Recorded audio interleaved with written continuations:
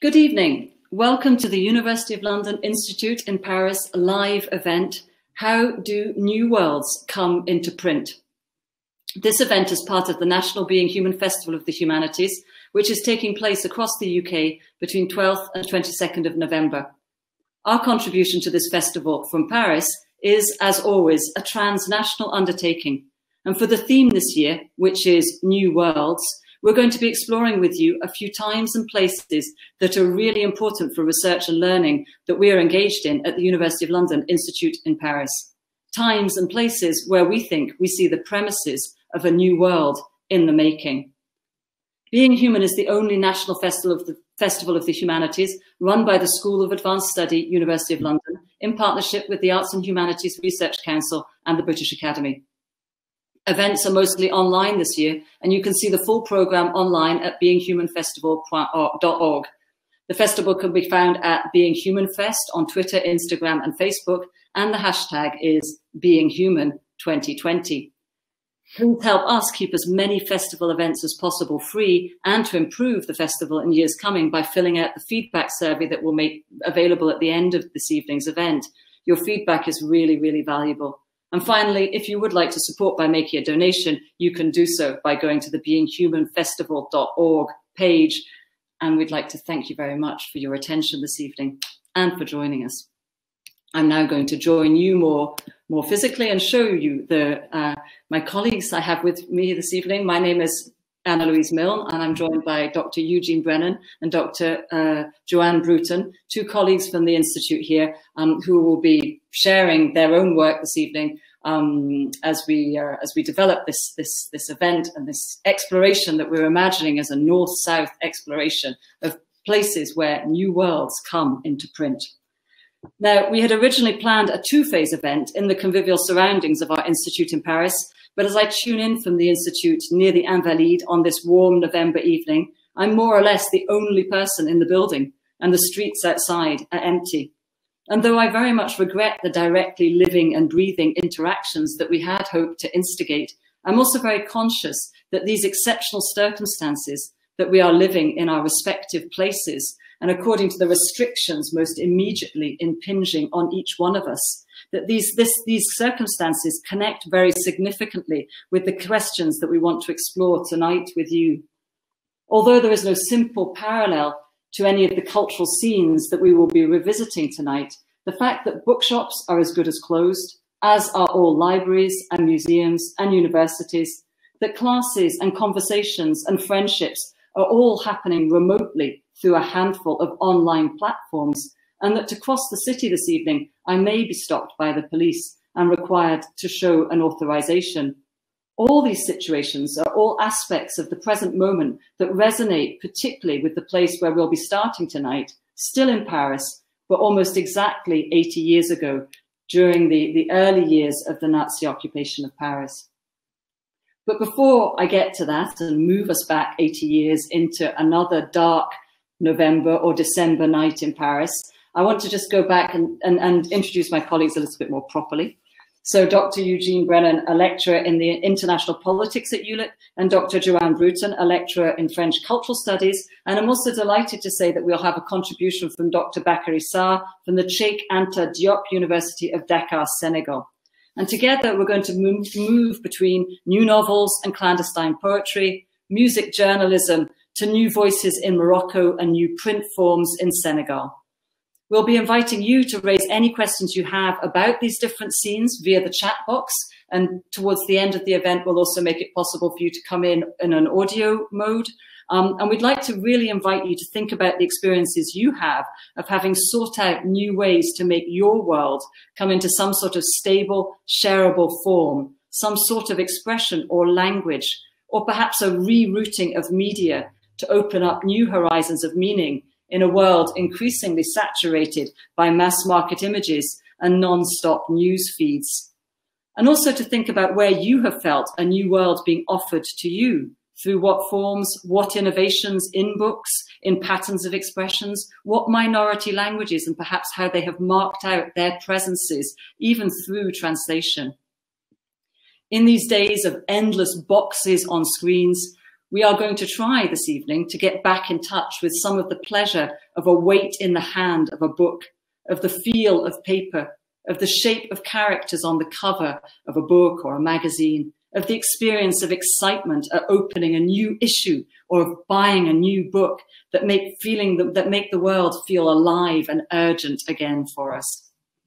And then having done that, We'll also hope to share some small fragments of a more directly interactive work, more directly interactive project that we've been leading, partly under with the support of the Being Human Festival, which is um, a very artisanal bookmaking project. I have a few examples here, which I can show you. So this is work that we've been carrying out with Being Human, and it's work that we would have liked to be able to share very directly with you this evening, but I'm going to have to hold the book myself and try and make it come alive for you via the screen.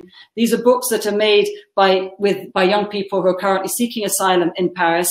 And we're going to be asking towards the end of this event what it might mean for people today deprived of rights and often abandoned to the street to envisage a new world by the making of a book.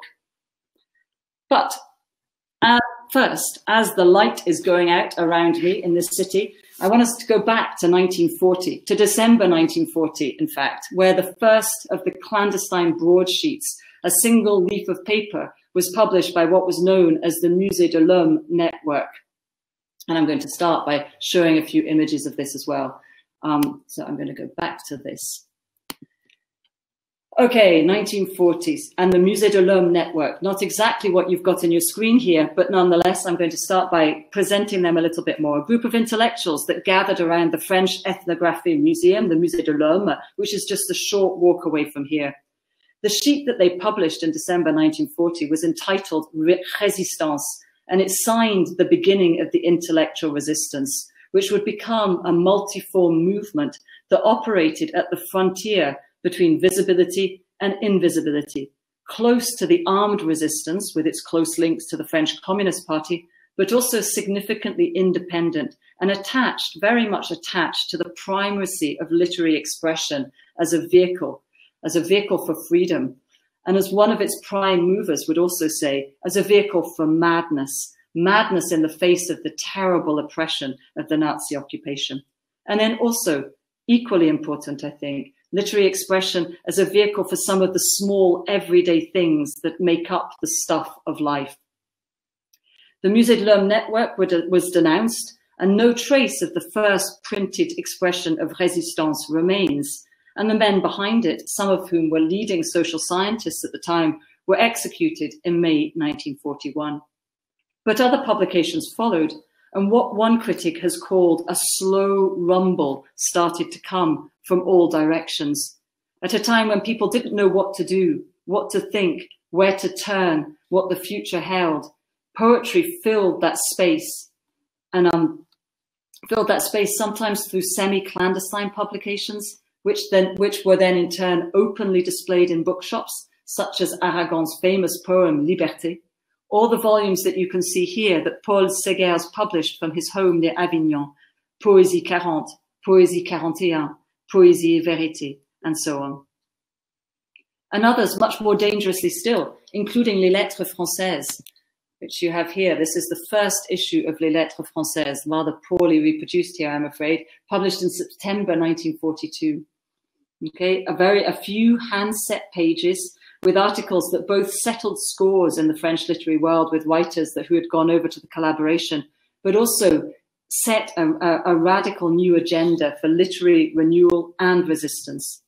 When the first issue that you're looking at here, which you can see was largely put together by handwriting onto the page, um, when this first issue finally came out, printed under the cover of night, its founder, the Jacques Decour, a German high school teacher and a member of the Communist Party, was already dead, executed by the Nazis in May 1942. So it took from that time when he was imagining the beginning of this project and trying to build the network which would lead to the Comité National des Écrivains, the National Committee of Writers, which was the, the committee that was behind these lettres françaises, these French letters. Uh, Jacques Decour was imagining that all through the early spring of 1942, and it took until September 1942 to make it visible in the form of this small broadsheet. Now, the Lettres Françaises would go on to be the main regular press organ of the intellectual resistance. You have the, like, the later versions here from 1944, and on the right-hand side of the screen, you can see the name of Jacques Decour there, the founder of the Lettres Françaises. It graduated from the very rudimentary setting of the first issues to a more respectable publication and survived right through till the end of the war, serving as a rallying point for writers in both Vichy France and the, uh, the occupied zone in the north. While in parallel to this, and the Lettres Françaises, and also, you know, drawing very much from the kind of gathering of intellectuals that were the Lettres Françaises enabled, uh, two other men, very quick to rally the resistance as well, Pierre de Lescure and Jean Bruller, who would later be known as Vercors from the rocky, remote area of France where the resistance had bunkered down, they also held good on their ambition to launch what would become the famous Édition de Minuit, the midnight editions. And in February 1942, the first title appeared with just 350 copies of Le Silence de la Mer, one of the most famous texts of the occupation, The Silence of the Sea, a clarion call to keep silent when faced with the enemy. And as Jean Paulhan would later say, Jean Paulhan, a key figure as well in the creation of the Lettres Françaises, as he would later say in February 1944, what happened in the war was that the weight of language changed. It took on new consequence. It became a matter of life and death. In that sense, writers lost language under the occupation and they had to find it again on a new basis. And the Édition de Minuit was one version of that refounding of the means of speaking freely. Its commitment to a pared down, elegant, I think I have a copy, oh no, this is the wrong one, a pared down, elegant uh, aesthetic, uh, despite, and, and also the quality of the paper on which they put great store you know, despite the incredible deprivations of the day, signified its commitment to its independence, its gamble on the future, on the way that these texts would remain beyond the immediate devastation of the war. And despite a difficult transition from wartime conditions, they did remain, and the Édition de Minuit went on to become a defining presence in the French literary landscape. The motor of the new novel, the publisher of Beckett, Genet, and later the press that came out most significantly in favor of insubordination in the context of the Algerian War. Now, before I hand over to my colleague Eugene for a, a, different sort of countercultural scene and different sort of countercultural determination. And I'm going to be very interested to see what sort of connections we can build between a later scene of, of countercultural determination I want to try just very briefly to get really close to what the printing of these now iconic landmarks in intellectual history actually involved. Because what did it take to bring out Le Silence de la Mer and to bring it into print? The very first printer that Lescure and Bruller approached was a man called Aulard. He was quite a famous printer at the time, and you can see him on the left-hand side of the screen here. And he would ultimately print a lot of the Minuit titles. You can see him with his boxes of lead characters and the paper, and they printed, he and his key and his, and his main worker printed through the night um, in order to bring out the volumes, these small volumes that you can see on the right-hand side of the page. But for the very first edition of Le Silence de la Mer, Aulard was concerned that there would be too many, there was too much danger, there was there too much possibility that one of his workers in his workshop would leak this rather strange kind of um, underground activity. So he in fact suggested that Lescure and Bruller should approach a man called Claude Oudeville, who worked right under the nose of the Gestapo on the Boulevard de l'Hôpital, um, very close to the Jardin des Plantes. Now, Oudeville's business was in fact printing cards to announce a bereavement, hence his situation right across the street from a hospital. But Oudeville worked alone on Le Silence de la Mer, using the characters and the paper that Aulard supplied on a day-by-day -day basis. He printed eight pages at a time, always at night, and it took two months to set and print the volume. And that was only the first stage, because then it had to be stitched.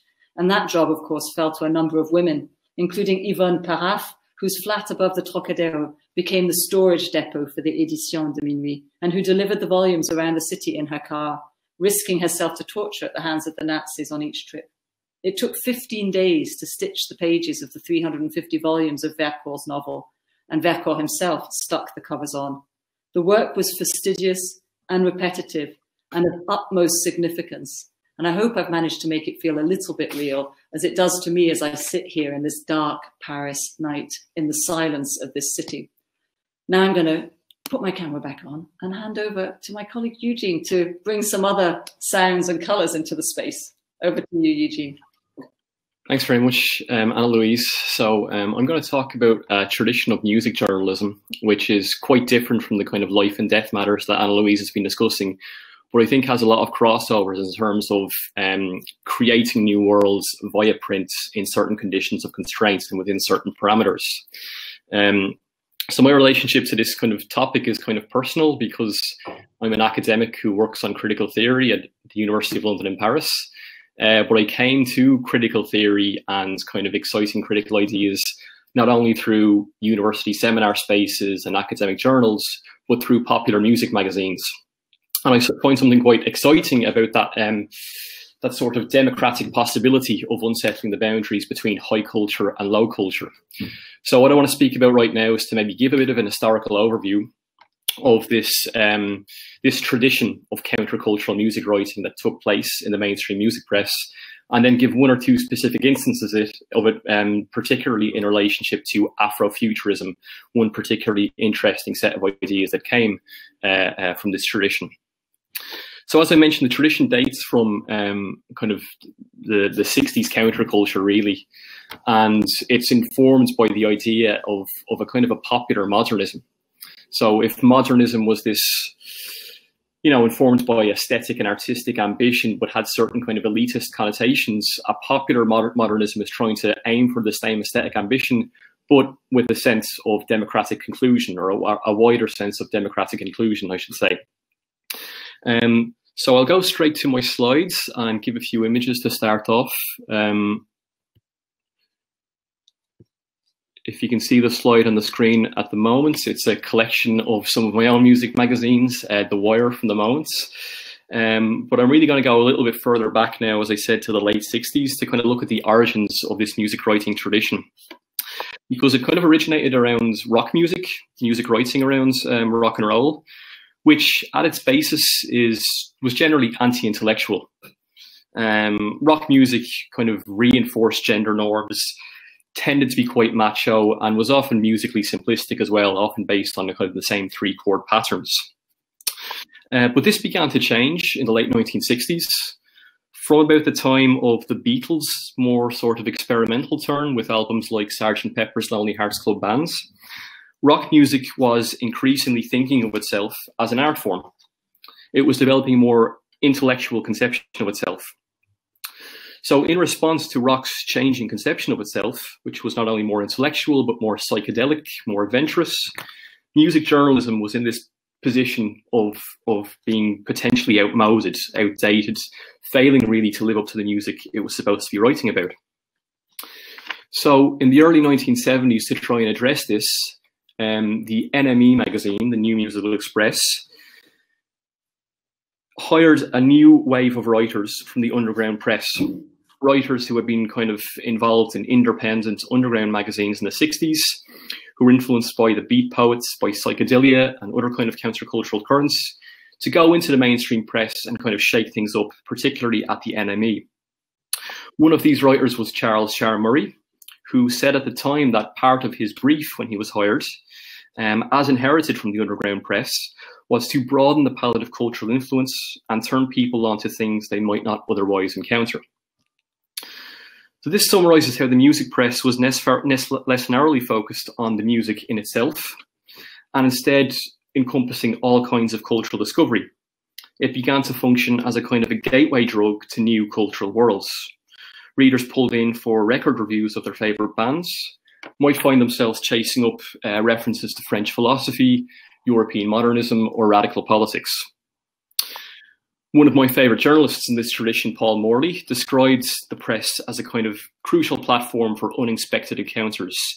He recounts how the NME was a kind of extraordinary tunnel you could crawl through every Thursday morning when it came out. A new set of possibilities seemed to open up. It was almost psychedelic, he said. So this kind of taste for experiments in cultural world building gathering momentum in the music press uh, in the 70s was reflected in the music of David Bowie Where rock music was often about authenticity and a kind of attachment to roots, Bowie celebrated the pleasures of artifice, of reinventing oneself from one moment to the next. As with each album during this period, he constructed entirely new personalities and fictional universes. Similarly, the music press was celebrating reinvention and even the pleasures of pretentiousness. So pretentiousness, we know, has sometimes negative connotations. It's sometimes a critique.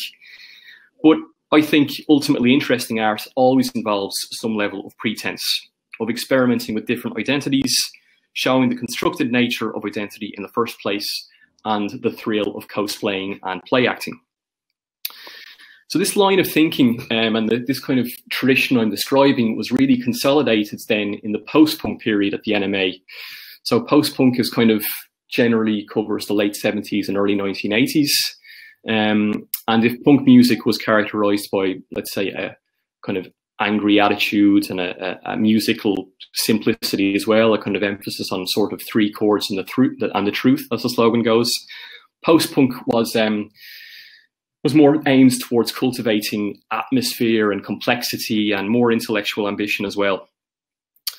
So in this cultural context, music journalism at the NME got even more ambitious. It started to bring in more references from French philosophy and other kind of avant-garde art forms. Um, the historian of the NME, uh, you'll see on your screen right now, the history of the NME, uh, written by Pat Long, wrote about how the NME began to resemble um, a kind of philosophy department at a provincial university. French philosophical concepts were increasingly used to write about the music press, but not necessarily in a conventionally academic way, because they weren't really used to explain things or abstractly intellectualize, but rather to try and convey some of the energy of the music itself. I think this is quite significant because the task of, of what journalism is supposed to do is normally to explain things to the reader, to contextualize and evaluate a piece of artwork. But these writers were more interested in decontextualizing, in celebrating the thrills of unruly energy and all the kind of chaos of the music itself. So um, Morley, Paul Morley, who I mentioned, has one kind of interesting uh, um, formulation of this. Uh, an article from the time he writes about going to visit the, the post-punk group Cabaret Voltaire in Sheffield. And he opens the article by saying, I am on a journey to demystify and mythologize.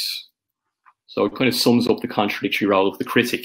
That on the one hand, the critic is trying to demystify the conditions of music production, to say something true about what it's like to produce music under capitalism, to say a kind of political truth, but not at the expense of um, spoiling the mystery to be able to kind of participate in the mystery and mythology at the same time.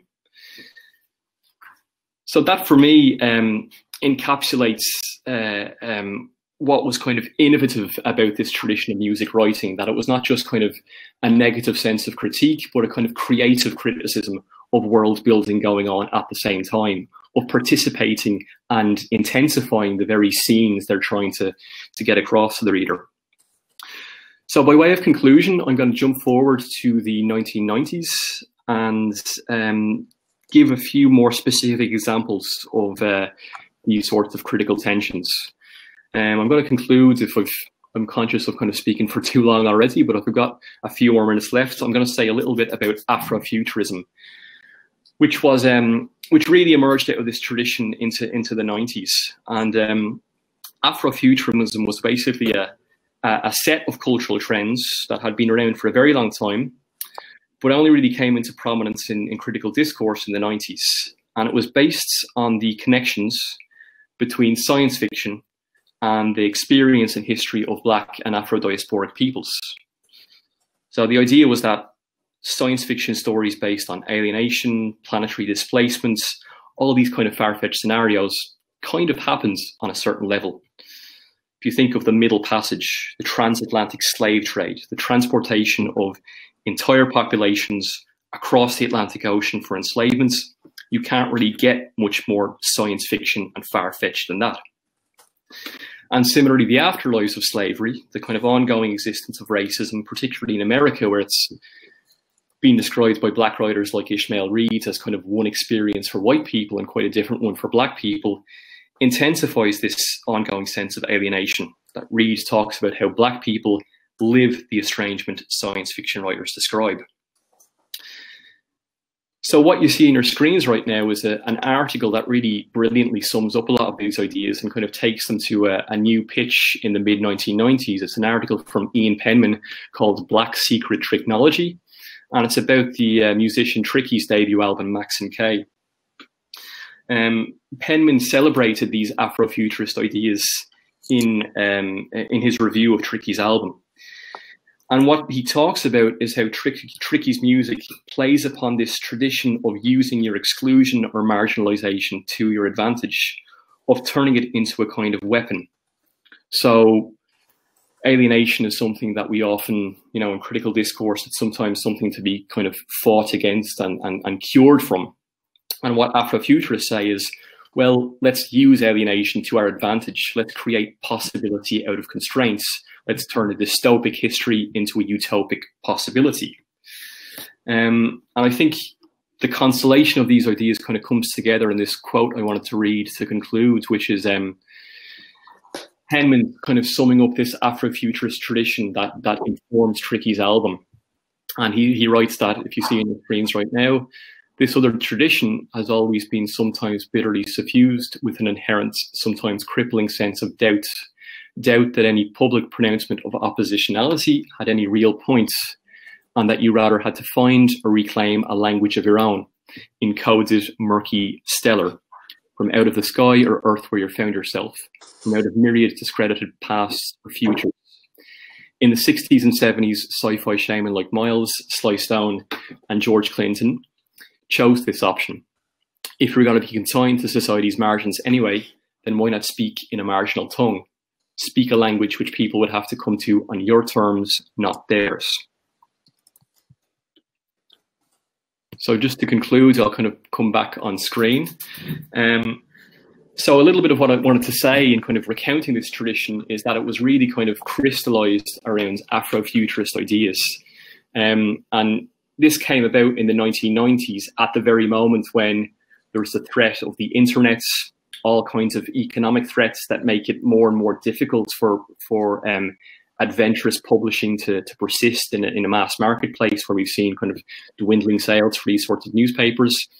But at the same time, you get this kind of a really adventurous utopian discourse developed around Afrofuturism, which which tries to think about how to, to create possibility from constraints in different sorts of ways and tries to say something about the contradictory role of the critic in journalism, the critic who is supposed to comment and explain, but at the same time has these ambitions to produce concepts and to build um, cultural worlds, be part of the scenes they're describing at the same time. So yeah, I guess I'll conclude there for the moment and I'll pass it over to Joanne. Thank you so much. um, I think I think these ideas around Afrofuturism and and the mobilization of estrangement and displacement and, and, and kind of using marginal tongues as a form of, of kind of radical resistance and freedom um, really do kind of intersect with some of the ideas I'm looking at today, but perhaps thinking of that idea of the margin and taking it to a kind of the geographic liminal um, in the space of, of Tangiers, uh, the port of Tangiers at this uh, opening of the Mediterranean. Um, I'm going to try and think through some of the ways in which the narratives that are seeped into the Mediterranean, the incredibly problematic narratives, how we might use those stories as a form of, of hope and optimism, of kind of European and Arabic cultural dialogue. So I'll go straight to the PowerPoint, I think. And I will start. so, this is the Librairie des Colonnes and it's nestled inconspicuously on the Boulevard Pasteur in Tangiers, just behind the port where the Mediterranean meets the Atlantic Ocean. I'm going to show you uh, the map here so that you've got that in your in your sights. This cult bookshop was once the seat of 20th century experimentation, where the beat poets like Paul Bowles, Jack Kerouac, William Burroughs, French absurdists like Samuel Beckett and Jean Genet, post-independence Moroccan revolutionaries like Mohamed Choukri, and Tahar Benjelloun, went to seek refuge in a shared cultural space where the heady cosmopolitanism of the Tangiers International Zone brought Europe to North Africa through a more liberal set of dynamics than the former abuses of colonial rule. Now, ensconced in the labyrinthine streets of Tangiers, the bookshop bears witness to a different dream of inclusion.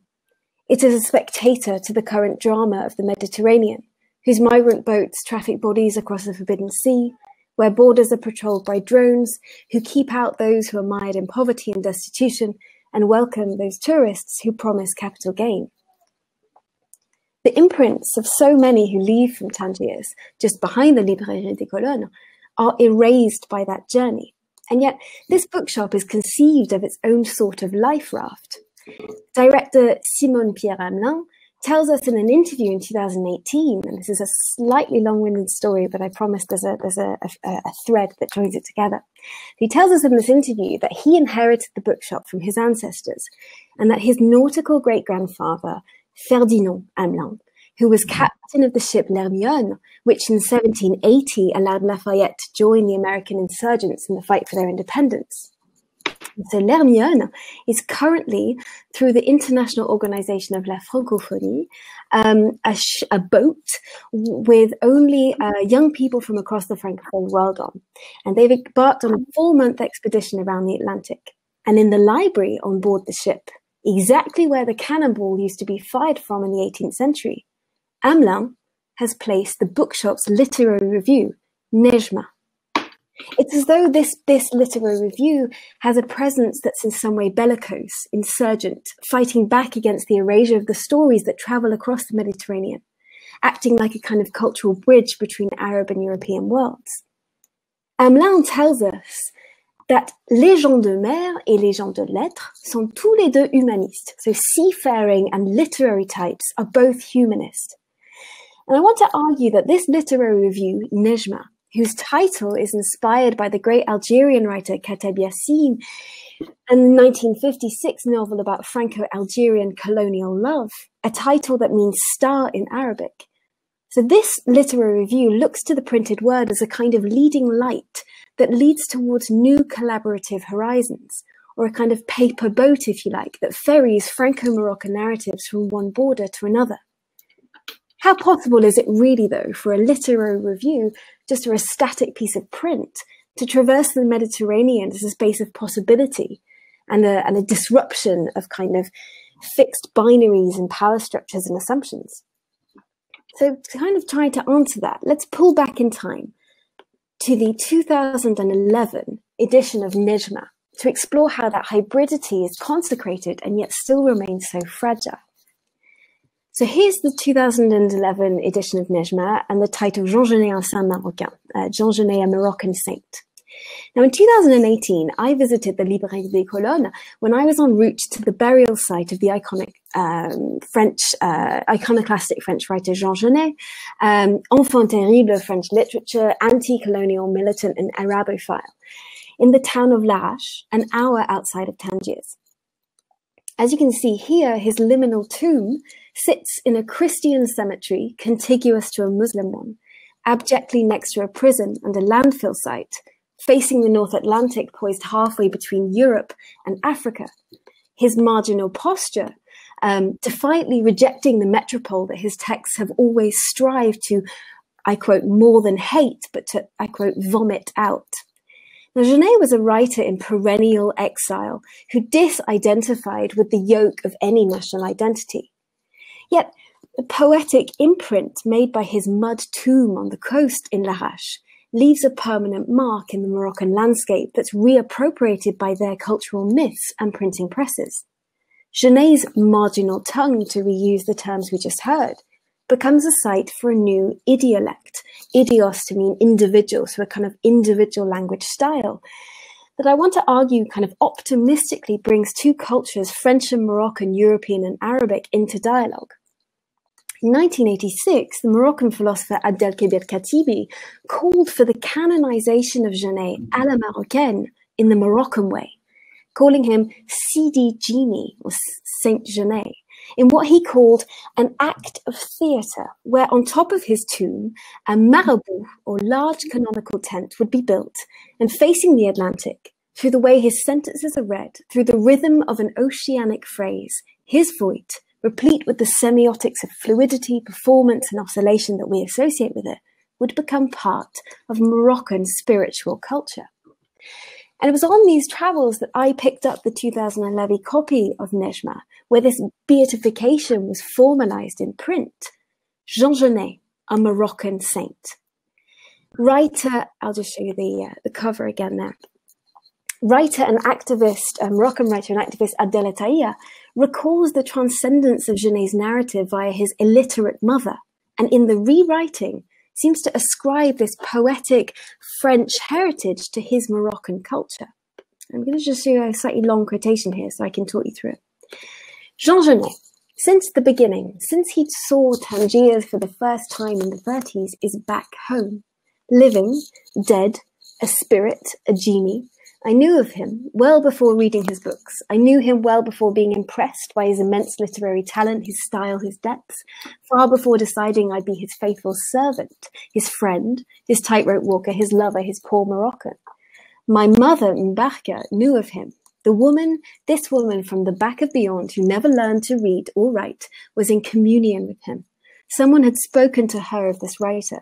It was she who wanted to bring me to visit his tomb for good luck it was she who put me on the path to Jean Genet. I simply followed her advice, and today in Nejma, alongside other writers and photographers, I am celebrating this good and cruel man with the words of my mother, through her way of reinventing the rituals, overstepping the mark and the gods. So as Taïa sanctifies Genet à la Marocaine, he seems to reappropriate and reinvent the words that Jean-Paul Sartre gave uh, in his consecration of Genet in 1952 in the imperious 600-page Saint-Genet, an actor and martyr, uh, an actor and, and martyr. Yet unlike Sartre, who entombs Genet as this radical existential hero, Taïa's pilgrimage to Genet's actual tomb is imagined as a kind of communitarian birthright tour. Taïa casts his Muslim mother in Christian communion with the pagan genie, to, to cite David to, to, to, to borrow David Bowie's phrasing of, of Jean Genie or, or Jean Genet. He imagines his parochial, uneducated, illiterate mother Mbarka leading the charge to this canonical cosmopolitan author. Seems like a kind of mythologized game of Chinese whispers where someone tells the mother, which she passes on to her son, Taïa, who cross fertilizes this with writers and photographers throughout Morocco positions it as a literary cannonball in the Librairie des Colonnes, and then disseminates this across the Mediterranean. I wonder if Genet's liminal tomb in Larache forms a kind of canvas on which the hybridity of the Mediterranean might speak, or even a canvas on which illiteracy or a different kind of alphabet might speak, a space where the elitist form of literature as a fixed and static object can be reborn as a site of orality where the marginal tongues of these Moroccan mothers who are silenced or denigrated politically become allied with Genet's own highly political marginalization as a form of iconoclasm. Being put on the path to Jean Genet leads to the troubling of any kind of static or monolithic identity. Rather, the legacy the mother passes down to her, her son is to reinvent the rituals and overstep the mark and the gods, to deviate from those sacred and secular norms by which identity is determined. So against the odds then, this edition of Nejma positions itself as a kind of minority press that has a view to a much more hopeful, blurred north-south horizon. The text, I'll just go back to the image here.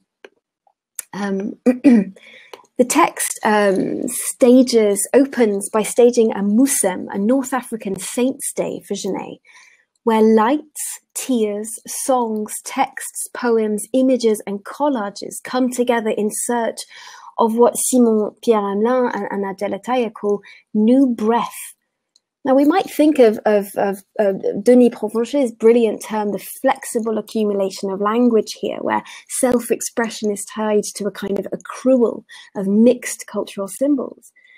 But I do wonder if there might be something more poetically hopeful about this new breath that comes with the reappropriation of narratives, authors, intellectual giants from mainland France. Perhaps, as Hamelin tells us in his short story, Sidi Jini or Saint Genet, when faced with the inhospitable folklore that surrounds a name that he says is as lointain qu'étranger, as, as far away as it is foreign, as canonical if disruptive, um, or like the, the term Genet, then maybe the only way to hear those Moroccan voices is in the celebration of disrupting the written word, of chirographic practice itself, celebrating the kind of homophony and sound of language in a way that might honor cultural difference. Genet becomes genie in the mother's tongue.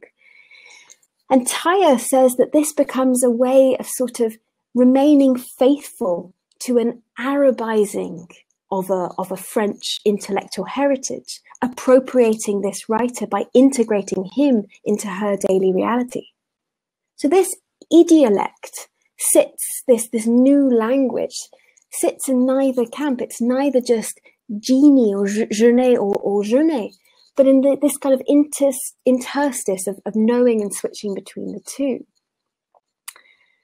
I think it's interesting that that eh, Taïa talks about knowing the correct pronunciation of a term like genet, but deciding to transgress that in a way that kind of highlights the diasporic experience of receiving culture across this Mediterranean stretch it's kind of interesting because Sidi Jini subtends a whole host of competing oppositions, attuned to a maternal, fraternal, homosexual, familial, Arabic, French, illiterate, scholarly, daily Moroccan reality. Seems to me this channels Genet's own prismatic self-representation when in one of his famous texts from, uh, from the early 40s, he talks about how the solitude of prison gave him the freedom to be the hundred Jean Genets glimpsed in a hundred passers-by. It seems when he sees himself scattered in a hundred passers-by, he identifies and disidentifies with this eternally changing network of nomadic relations and then he forges himself in others, just as Taïa casts his own Moroccan family as dispersing and deterritorializing themselves into their experience of Genet's legend and using that as a kind of form of belonging to uh, to to a shared francophone literary heritage. So I guess just conscious of time, let's travel back up to the coast then of the of the Librairie des Colonnes and think about the first, one of the first contributions in Nejma by the Moroccan literary stalwart Tahar Ben Jelloun. And I wonder if we might conclude with his eerily, um, eerily kind of uh, presaging words in one of his uh, novels from 1985, The Sandchild. And it seems to me that this echoes those migrations to Genet's tomb in search of new cultural alphabets. And he says, I'm not in Africa, but in a cemetery by the sea. I feel cold. I am caught by warm hands. They stroke my back. I guess whose they are. They're not mine.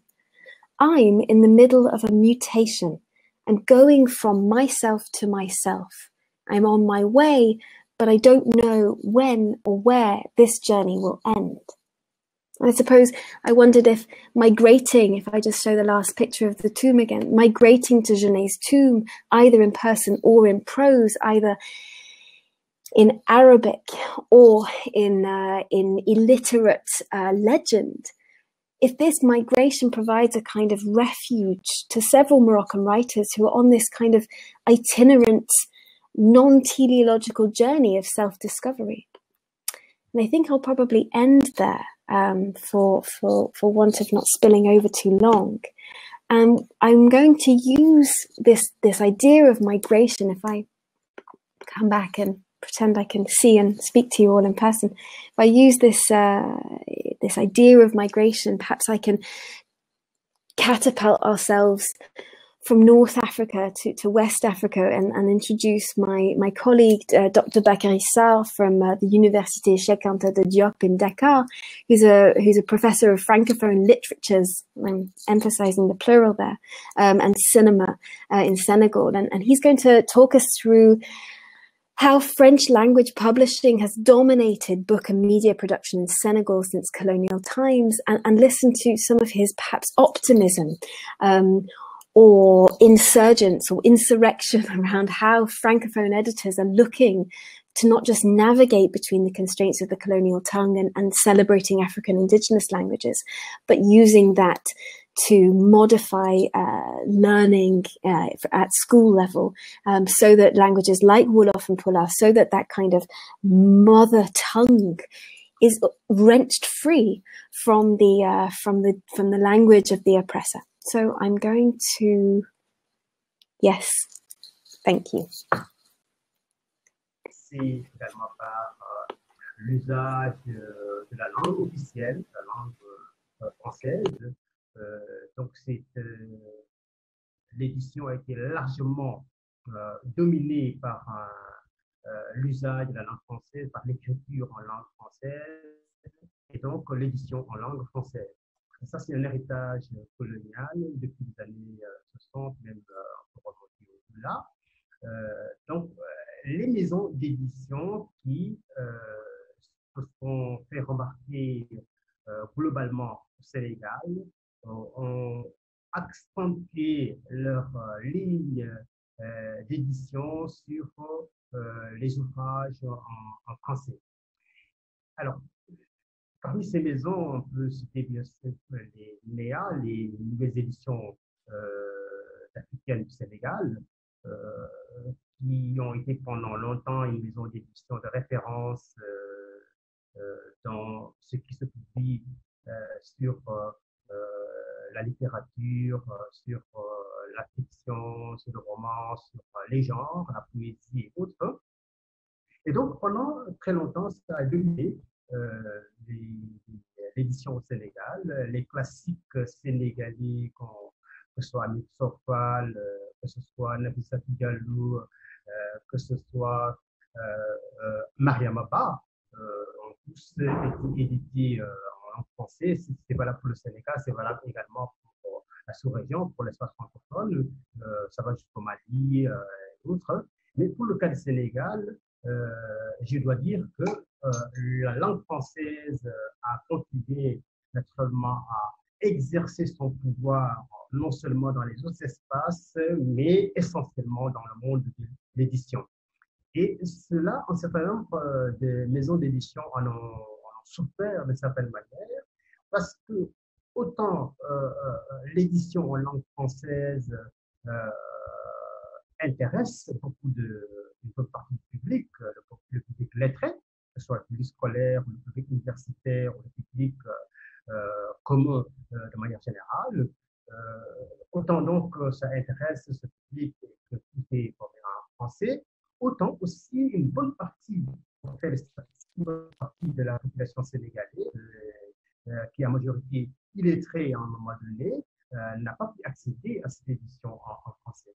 Donc, cela signifie qu'on peut, on peut parler de minorité, une minorité donc à profiter de ce qui se publie dans les maisons d'édition pendant cette période.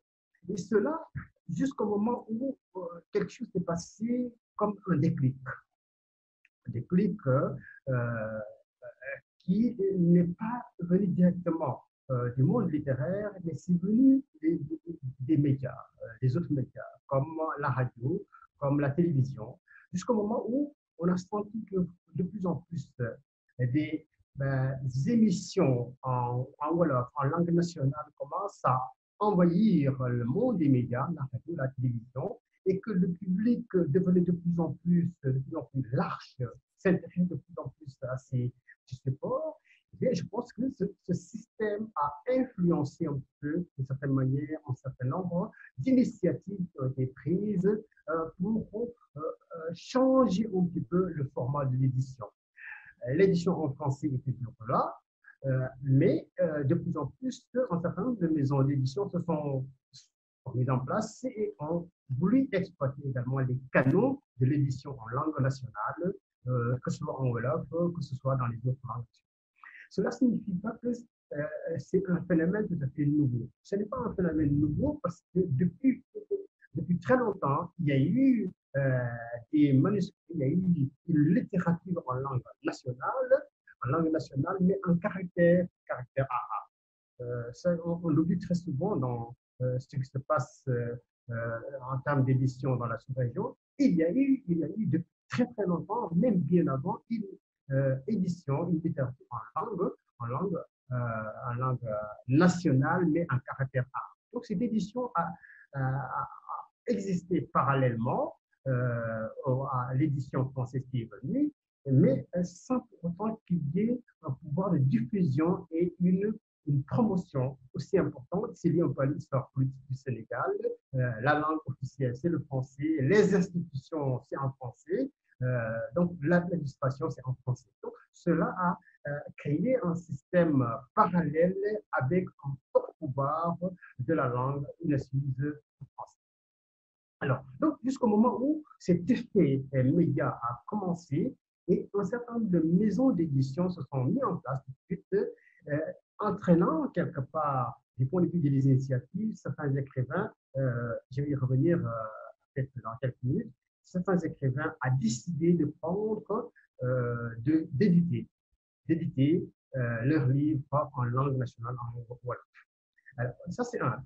Deuxièmement, euh, ce qu'on peut également euh, dire du point de vue de, l'espace éditorial, c'est qu'il y a un espace classique les maisons d'édition classiques, les liens Armatan, les maisons. Il y a tout un autre espace où de nouvelles initiatives d'édition sont prises qui bousculent un petit peu euh, euh, l'espace occupé par les maisons d'édition classiques en langue, en langue. Alors, euh, donc, il y a, y a parmi les, plus anciens, il y a les Léa, il y a le CAEC, ce centre qui a été mis en place par Aminata Sokwa à l'époque, euh, qui s'appelle Centre d'innovation et d'échange culturel, qui s'occupe à la fois de culture, mais également d'édition. Euh, ça, c'est une idée.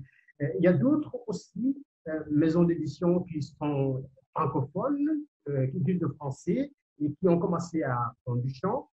C'est la maison d'édition mise en place par l'écrivain Ahmad Lamine Sall, la maison de la poésie internationale. Il y a également le Nègre International, qui est une maison d'édition dirigée par Elisha Moreau, qui est un écrivain. Donc, euh, ils sont tout de suite investis, investis, ils ont renforcé un petit peu l'édition en langue euh, française, mais en exploitant également d'autres genres, la poésie, le théâtre, euh, jusqu'au moment où donc des initiatives, c'est le troisième élément, des initiatives venant d'écrivains décide de, de, mettre en place, de rompre avec les pratiques littéraires euh, et de commencer à écrire en langue wolof. L'initiative, l'une des premières initiatives vient de l'écrivain, romancier et dramaturge euh, Ndaw, qui avait décidé naturellement de euh, d'arrêter d'écrire en wolof, en, en, français, et de ne plus publier qu'en ne plus écrire qu'en wolof cette initiative de euh, euh, Cheikh Alindao a été prolongée, renforcée par les nouvelles initiatives que l'écrivain Boubacar Diop a pris. Hein, euh, D'abord en euh, mettant en place, en s'organisant avec l'écrivain Félix Sarr, euh, en mettant en place la maison d'édition Gimsan, avec en, collaboration avec Mémoire d'Encrier et les éditions musulmanes. Et ensuite, Boris a décidé également de mettre en place une autre maison d'édition qui s'appelle Ketou, Ketou euh, qui s'occupe de traduire un certain nombre de classiques en Wolof. Euh, c'est là que la tragédie roi Christophe a été traduite en Wolof euh, de vers. C'est là que ici longue lettre de euh, Mariam a été traduite en Wolof. Et Boris, naturellement, a fait cette, cette brèche pour euh, commencer à promouvoir l'écriture en Wolof. C'est là qu'il a écrit son roman, euh, Dom Golo, les bêtises de la Gono. Et si ces initiatives continuent, de plus en plus, ce qu'on peut faire pour pour me, résumer, de plus en plus, les initiatives en langue nationale, les éditions en langue nationale euh, continuent de prendre du champ parce que le développement euh, de la pratique des langues nationales a pris du champ, a pris de l'ampleur. Il y a aussi des éditions papyrus qui sont gérées par euh, un, qui s'appelle qui, qui s'occupe naturellement de, de, de, de, publier un certain nombre de manuscrits, aussi bien en Wolof, dans en dans les autres langues, et qui exploite tout un autre système de, de distribution. Euh, la chaîne, la chaîne de distribution des livres classiques euh, est, rompue, et c'est un autre système de distribution qui se met en place, qui permet naturellement de voir qu'il y a d'autres points, d'autres possibilités, d'autres initiatives euh, qui viennent bousculer un petit peu euh, le cadre euh, classique de production, d'édition et de circulation des livres.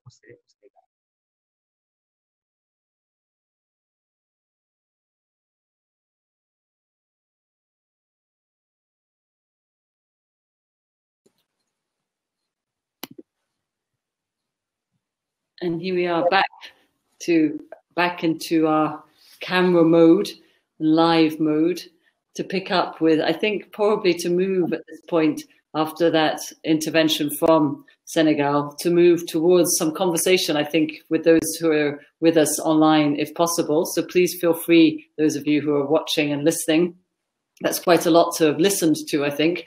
Um, we've been running for a while now. I think we've gone in quite a lot of different directions um, to think about. I love that idea of the of, of that uh, you know getting a copy of the NME would be like getting out of a tunnel and I think that that whole idea of kind of being in a tunnel stuck within a set of constraints and then reaching a kind of like a space where actually things might, you know, open up a bit, might be possible to kind of move a bit laterally. So I think it would be really interesting if we could try and move a bit laterally between the different things that we've been talking about. Um, and that that in some ways seems like what the the, the sort of material that we're trying to get at is is really um, why it's really important is its possibility of kind of taking of just deciding to take and move from one space into another space.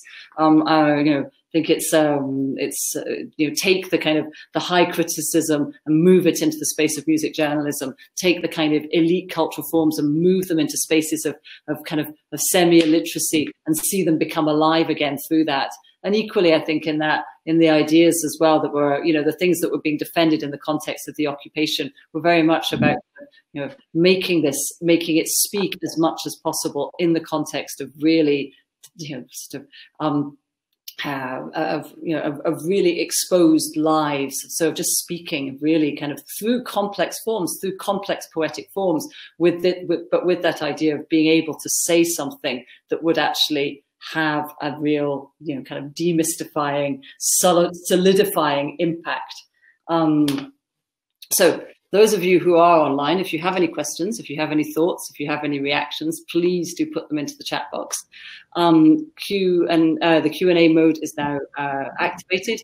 If you want to request permission to speak, then that is, I think, technically possible.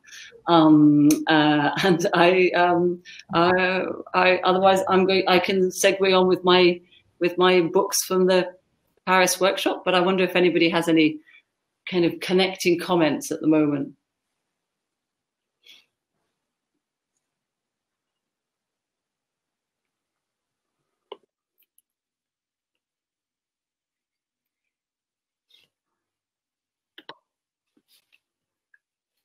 Looks like John Smith wants to come in.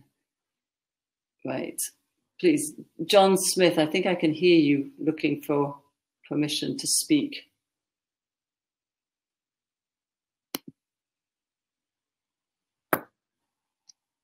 Do I hear somebody asking for permission to speak? I'm not very good with this machine, I'm afraid. Moderation, one. Uh, Okay, here we go. So, so um, I hope people can hear me. I have a question from David Bohm to Eugene. How were NME's high culture interventions received and reacted to by its music readers? By its, uh, yeah, by its readers.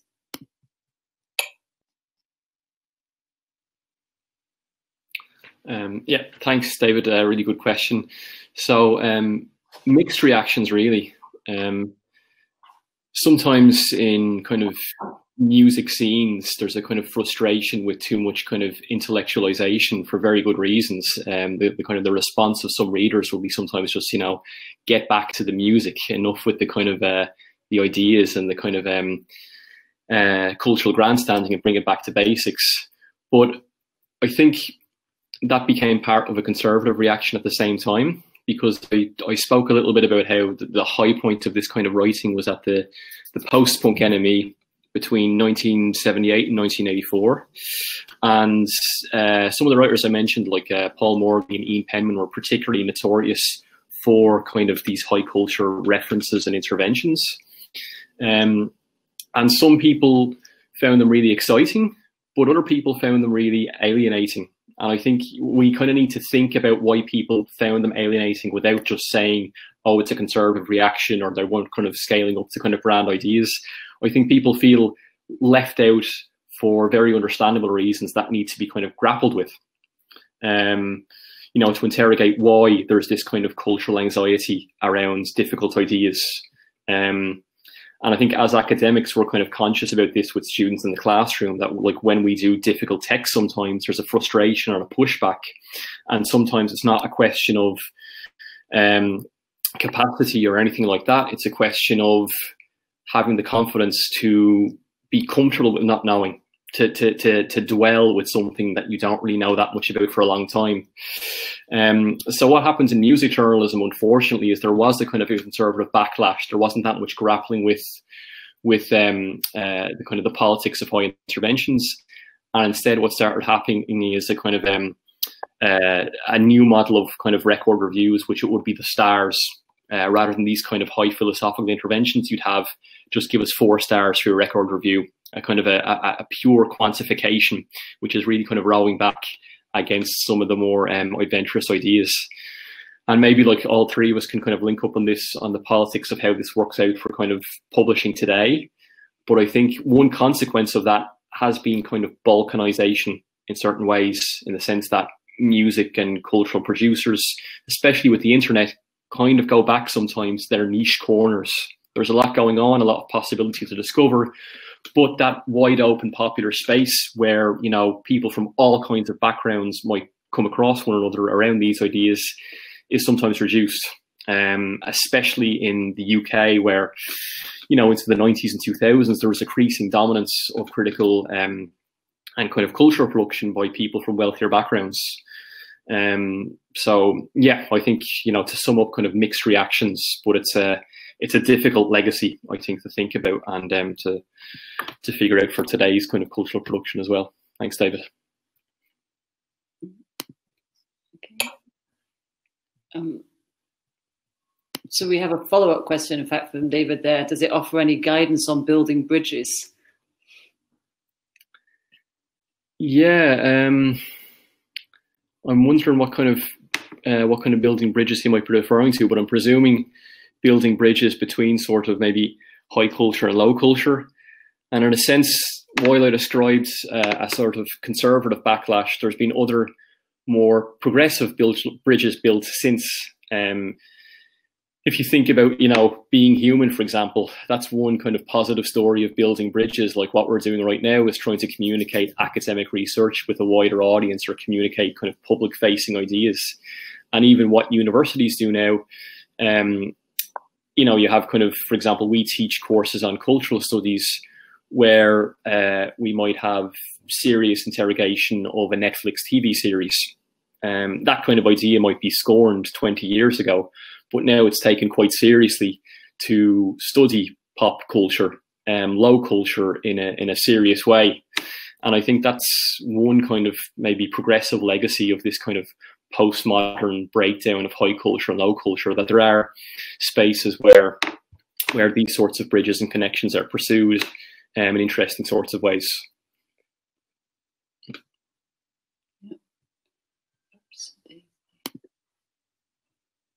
Okay, I can see Laura trying perhaps to come in on the permissions, but I'm not sure if I'm doing the right uh, move here. Let me see. Um, okay.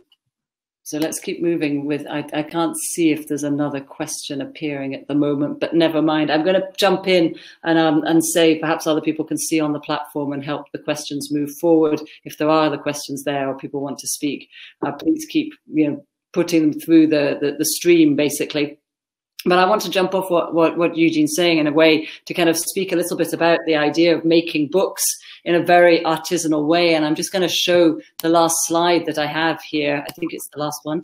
Uh, we're going to move through the ends of that. So these are scenes of bookmaking. I'm just going to move us as well towards thinking about what this kind of configuration of different uh, interventions that we've had this evening can kind of how they can talk to one another, I think, through this project as well. And for me, it's certainly really uh, like kind of fascinating to try and put these different types of materials and these different spaces together. And this is very much a kind of a final small section on situations of migration, where we're very much kind of picking up on the sorts of um, uh, situations, let's say, that Joanne was evoking in particular of Mediterranean crossings, of movements between literacy and illiteracy, of movements between oral tongue, oral language, oral practice and written practice, um, between spaces of high culture, because this is a situation that's taking place in a public library that's full of uh, an effort to transmit and share with a broad public base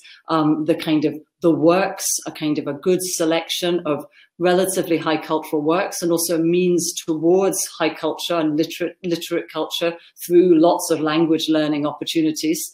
Um, you know, kind of driven by the, uh, the, the mission of a public library to enable people to access literate culture.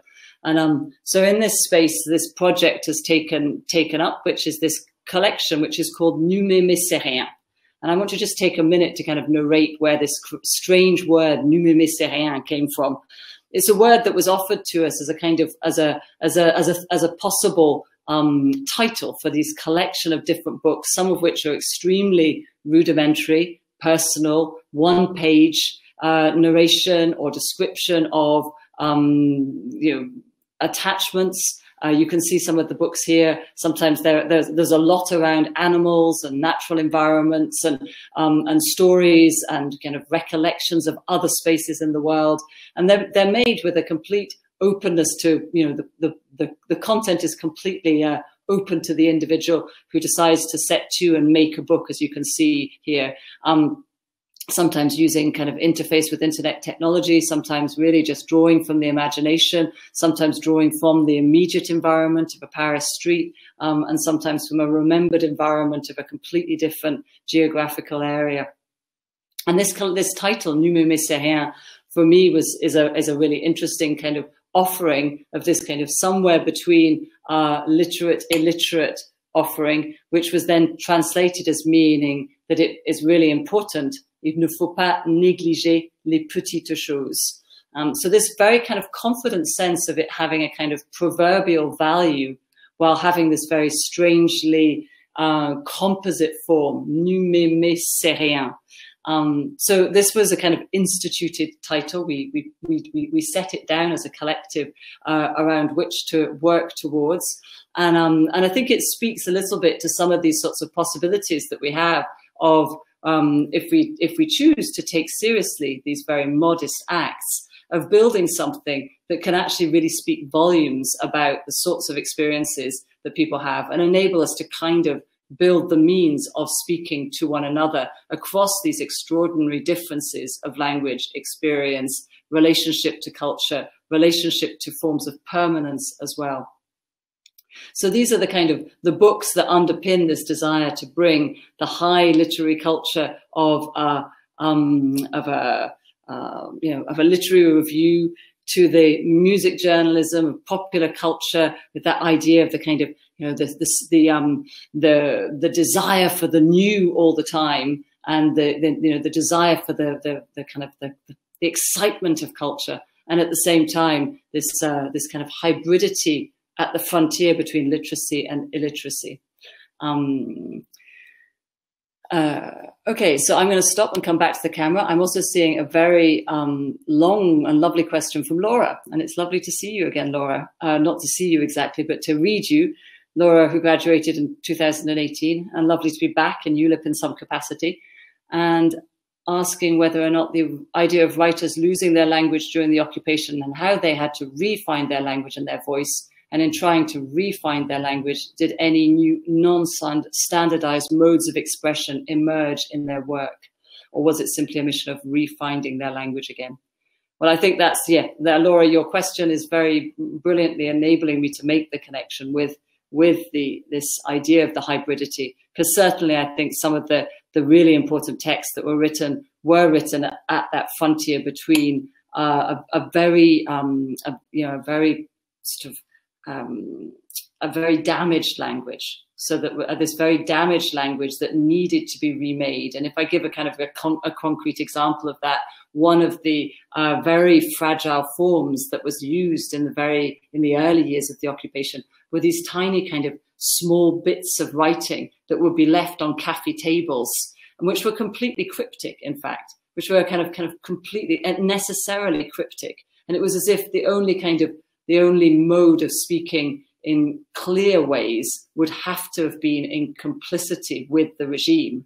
Therefore, the need to write and express something that was in opposition to that dominant regime of the censoring, occupying forces required uh, a passage through a very strangely cryptic form. And I think that strangely cryptic, very reduced, very fragile form definitely uh, set language off again in a much more, you know, set language off in the wake of the war towards a, um, uh, a, a kind of oh, an obstreperous, a difficult, a kind of, you know, an unwillingly, uh, unwillingly um, dense kind of uh, modality.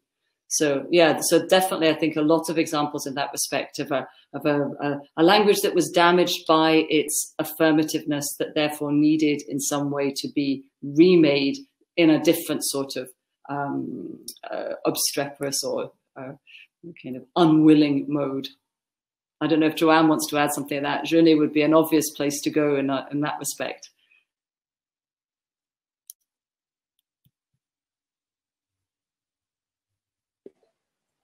Sorry, I was on I was on mute there. Absolutely, and and and I think this idea of um, that that you were making here of, of in some ways reclaiming ah kind of barbed and difficult kind of voices as a form of, of resistance um, and writing against uh, writing against kind of uh, the establishment writing against language's comprehension is definitely something that, that Genet would have would have uh, would have very much celebrated I think. Um, the, the quotation I gave during the presentation about um, Genet's resistance to, to France as, as more than hating France, but wanting to vomit France out, a, a way of kind of internalizing um, the uh, the enemy, the national enemy, and in some ways evacuating it through uh, through all kinds of means is a really is a really kind of brutal and violent form of, of disruption in language that I think is actually incredibly productive at the same time as it is is disruptive um, yeah. I can see on the chat that Laura, you asked a question about French literature in, in Senegal as, as well. I don't know if that would be a, a, a, a so should I read that out? So, uh, this makes you think of the place of French literature in Senegal. Was literature written in French in Senegal because French was seen as a prestigious language, or some process of internalizing colonial superiority? Or have there been cases of authors in Senegal writing in French as a means of reclaiming the once colonial language, putting their cultural mark on it, and thus deterritorializing it? Has French literature from Senegal been seen as a process of decolonization as it ha has in other colonized spaces? Um, I wonder if perhaps I could jump in and sort of maybe make a few comments there and perhaps, perhaps if others you want to as well. Laura, I think that's a really interesting question. I think it's certainly certainly a kind of problem that we see in, in all desire for kind of decolonizing one's voice. Um, the case in Senegal, it's not dissimilar to the kinds of uh, to the kinds of forms of revolutionizing and pastiching language that I mentioned in North Africa. Um, speaking through the colonial tongue is to maintain and to insist on the same kinds of uh, hierarchies of domination that continually um, that continually uh, victimize uh, and continually oppress uh, those colonized peoples. And certainly in Senegal, there is a drive to honor and celebrate indigenous languages like Wolof and Pulaar precisely because those are the languages that are form part of an oral culture an oral culture that is in itself a kind of resistance to that chirography, that practice of written language that makes literature this kind of fixed and static object that's only available to the elite. And so, in some ways, when you talk about this idea of kind of appropriating the kind of colonial tongue, which we might argue that, that what's, is what Abdel is trying to do in this way of kind of appropriating pastiching the tongue and mixing different forms of languages within French to create this kind of literary Creole. I think in Senegal, what, what Bakary was talking about is much more, um, much more insurgent than that kind of hybridity. There is a desire to stop speaking through the language of the colonizer and start to celebrate a kind of literacy that might be passed on through oral narratives, that might be passed around through kind of oral cultures that are themselves rooted in a kind of illiteracy. So I would argue that perhaps in Senegal, the situation currently, and it's a really interesting one, is that, um, as Bakary was describing, the movement toward Wolof and Pulaar, the movement toward these indigenous languages and their dissemination is not happening in literature literature is only still being considered to be the, the object um, of the elite that is in some way untouchable, that what belongs to a kind of space and time uh, that becomes a kind of hallmark or, or a, a stamp, if you like, of intellectual prowess. And somehow the ways in which we might uh, we might do violence to those kinds of colonial dynamics is not going to be passed through French literature in this kind of canonical sense, in a sort of even in translation. There's still a just there's still a kind of timeline that's problematic there that they, you know has to be translated in the first place, suggests that there is in some way um, you're still having to undo these these colonial heritages, but that actually that it's through radio, through the transmission of oral cultures, that we are hearing new forms of learning and thought and culture that have once been sidelined as illiterate and therefore impossible in many ways to pass on. So I think in Senegal the situation is quite different to this kind of hybridity I was talking about in North Africa. Um, and I think in Senegal what Bakary was talking about is that as ever, publishing houses need to make money, and unfortunately, the big publishing houses like Harmattan uh, have a francophone readership rather than necessarily a readership in Wolof and in Pulaar. And it's actually at school where we need to be kind of making these strides to to insist on a kind of decolonization. I think you made some really brilliant points there, Joanna. I just think just like to kind of uh, within what Becca was saying and what we put over and the words over the over the film, so, so it's a bit clear for people to read.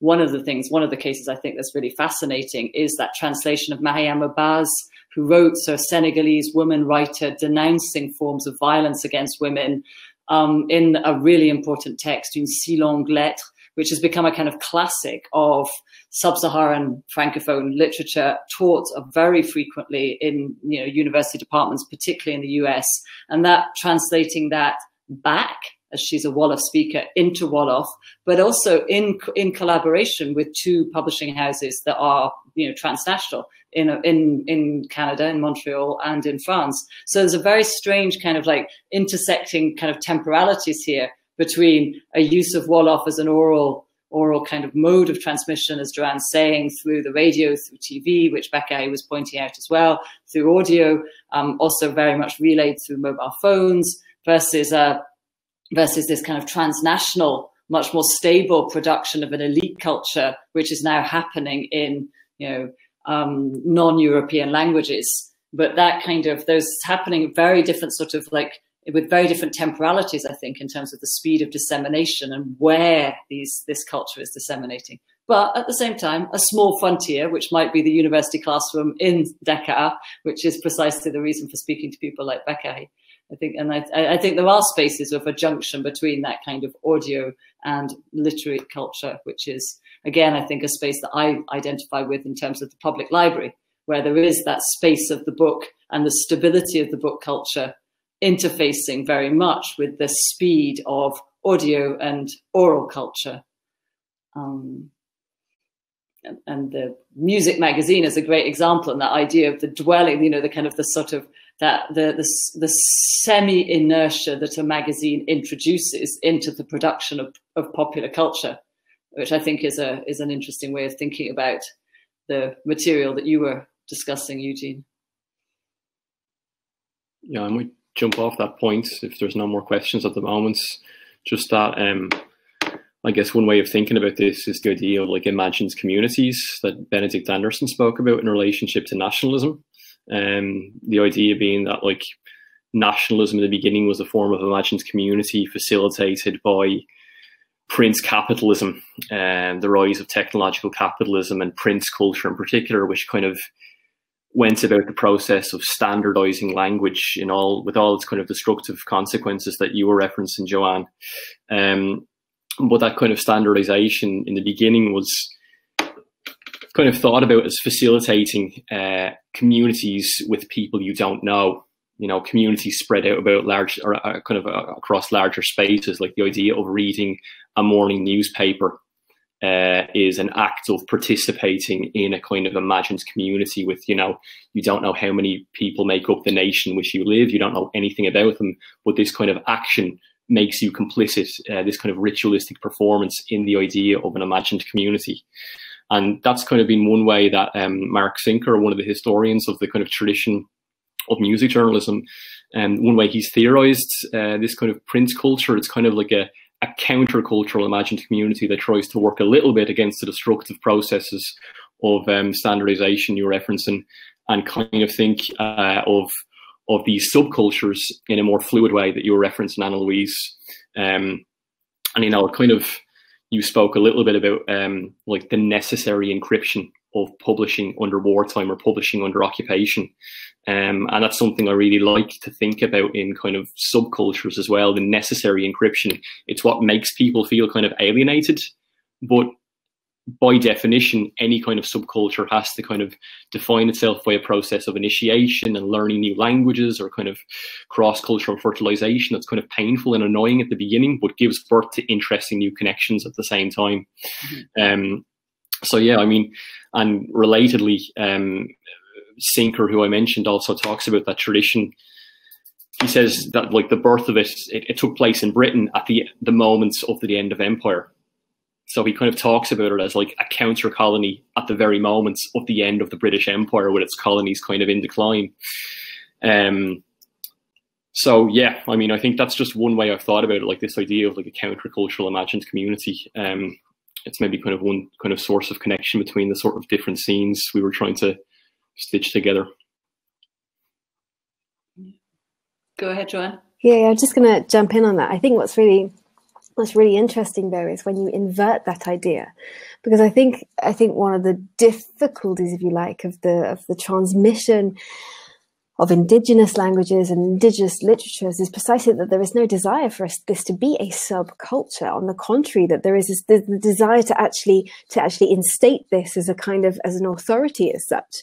And I think in many ways the problem is that the translation itself is a kind of in part a kind of colonizing act or a memory, if you like, or a trace precisely of the kind of the colonial violence that erased and silenced those indigenous languages in the first place. So I think it's really curious, this idea of the imagined communities you describe, because one of the senses that I, I'm getting in, in the desire to reappropriate certain uh, colonial ideas and, and intellectual frameworks is to actually reassert the hegemony and the authority of the individual rather than precisely to kind of flatten them in these communities that then kind of bundle them away into certain pockets that allow them become to become almost fetishized as as those who read Mariama Bâ's Wolof translation versus the majority. So again, I think it's this push and pull that we're always seeing, and I think this is what what Taïa is doing is very interesting of the gesture of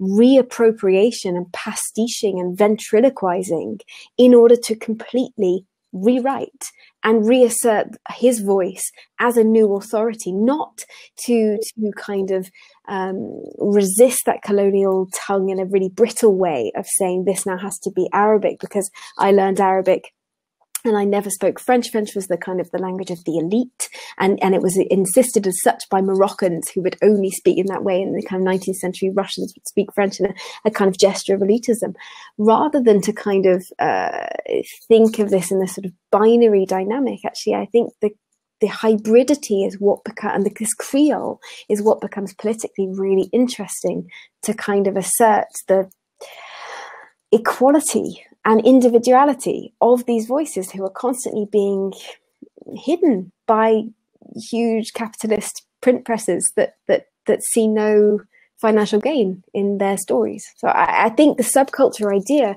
is once again the kind of potentially the language of those who dominate. Maybe it's not necessarily the the journey for those who seek who seek an individual um, influence or an individual kind of imprint. So if we talk about this language of footprints and imprints, I think perhaps, yeah, that's, I just, that was just a remark. Mm. Yeah. Okay, there's a question from David again about jargon including and excluding.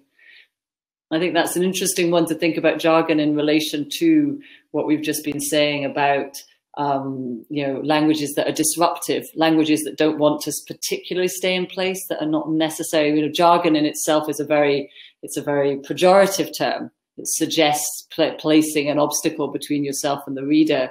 And I think that kind of that idea of placing an obstacle, but as something to kind of go towards, as something that is actually, you know, whether whether the the difficulty is what makes it um, an exciting prospect. It's what makes it a, a, sort of transformative prospect.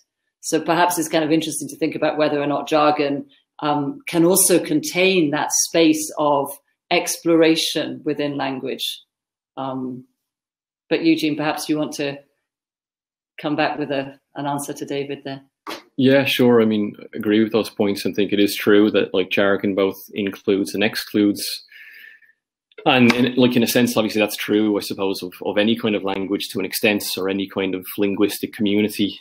Um, but I kind of think of uh, Aimé Césaire, um, in particular Césaire's rewriting of Shakespeare's The Tempest, where the character of Caliban is, you know, in that rewriting, um, the fact that refusing to speak Prospero's language, refusing to speak the language of the European colonizer, is embraced as a kind of anti-colonial weapon. Um, and this is something I think that's quite present in some of the kind of countercultural writings I referenced, um, especially in the idea of Afrofuturism, this idea of a kind of, you know, free jazz, uh, science fiction in African and American music, taking these encoded murky languages and using them as kind of almost in a sense uh, anti-colonial kind of um, intellectual weapons, if you like. Uh, this really comes out then in the writing of Kodwo Eshun, who's got this book, um, More Brilliant than the Sun, Adventures in Sonic Fiction. Uh, he's an academic at the moment at Goldsmiths, and he wrote for The Wire quite a bit in the 90s.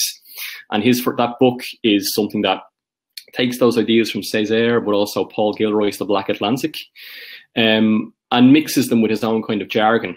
Uh, he uses a lot of kind of portmanteau and invented concepts.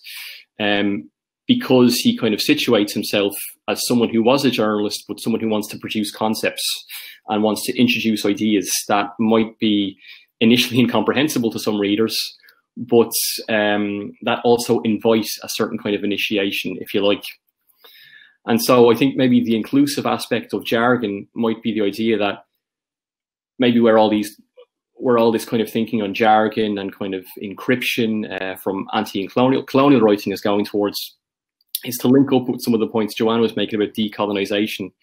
which is to say that yes, while jargonistic writing is kind of exclusive initially, um, maybe in its more progressive usages, it's trying to decouple knowledge and complex ideas from uh, uh, property relations, which is to say that the jargon doesn't really belong to anyone. That maybe those people who are from kind of colonial backgrounds and kind of who suffered racism and the after effects of kind of slavery and racial capitalism have a privileged access to it, but invite uh, other complicity, invite a kind of shared understanding that is not about you know an exclusive ownership over jargonistic language or interesting um, adventurous ideas. Um, yeah that's kind of a, a, bit of a tangent but uh, yeah, I think that's really. I think you've made your point really, like brilliantly, really forcefully as well. That idea that there would be the possibility not just of a kind of a face-off across uh, ownership of the cultural field, but actually of really kind of creating other spaces. And I suppose that brings us back at some level to this idea of the new worlds that we're interested in, this idea that there would actually be an opening up of a new space through this develop this kind of this, this taking heist over this kind of adopting, taking, resting away from the spaces of power of potentially powerful forms and bringing them and making them making them sit alongside less powerful forms in in spaces of marginalization but work within those spaces really effectively so i think that you know uh, I think that does bring us back to what it does mean to kind of open up new worlds. Um, and on that, since we have no more questions and we've been running for quite a while, we've been running for basically an hour and a half which is about the right length of time. What we're going to do to close this is take ourselves back to, in fact, to Cameroon with a very short sequence from a film, which is a really great film that deals with some of these questions really directly, which is called Afrique, je te plumerai, which is a good, which is a little quotation from a, a very common French ditty, which is a kind of a way of, you know, it's a childhood nursery rhyme that becomes a much more kind of powerful sentence in this, in the context of this film. I will fleece you I will, you know, and um, and I think it's that that's in itself as the title for this film. It's made by a filmmaker from Cameroon, a Franco-Cameroonian filmmaker called Jean-Marie Teno. We're just going to be showing a very short extract to see us out of this event. Um, it's a it's a it's a very good example, I think, of how there are um, resources, if you like, within the dominant forms that can actually be turned towards other spaces. Um, but the, the little extract that we're going to be showing you, and we'll close the event on that. So I'm going to say my thanks now to everybody who supported this, the Being Human um, Festival in particular, and if possible, we will now put up the um, the survey for you to fill in. If you will uh, very would be very grateful if you would take the time to fill in the survey if you've enjoyed the event um, and then uh, to, so to thank the Being Human Festival, to thank Eric Erdel on the technical side of things. My thanks enormously to my colleagues, Eugene and Joanne, for joining me on this. It's been really interesting to listen to you. Um, so I think what we're going to do is run the film and there we, uh, and then, um, and say goodbye before, before I set it going. Okay, so hopefully I can do this. And it is going to be that, and it's going to be that.